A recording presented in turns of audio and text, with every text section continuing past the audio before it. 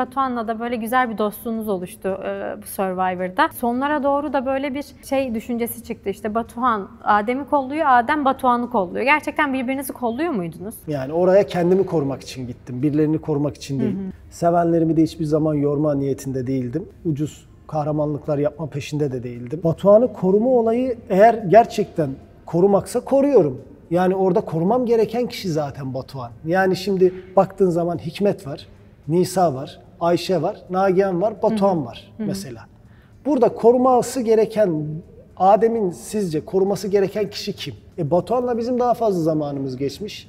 E dışarıdan da onla, onlardan önce Batuhan'la bir samimiyetim vardı. E doğal olarak orada hak eden kişi de o, korunmayı hak eden kişi de o. Yani bununla alakalı aramızda kesinlikle tek cümle bile konuşulmadı yani.